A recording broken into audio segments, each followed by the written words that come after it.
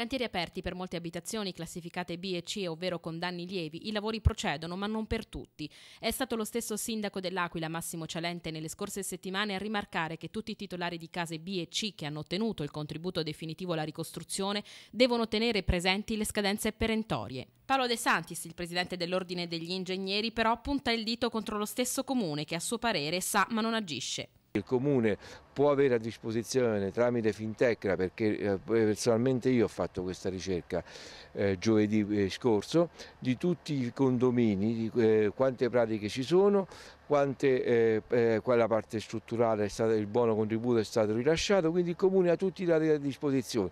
Uno dei principali problemi è la lentezza con cui la macchina della ricostruzione procede, in fortissimo ritardo il rilascio dei DURC, ovvero i certificati obbligatori che attestano la regolarità delle imprese. Stiamo fermi alle richieste dei turchi perché hanno, pur che lavorano dentro al comune, però eh, il numero di, di pratiche sono tante, a inizi di agosto per la richiesta.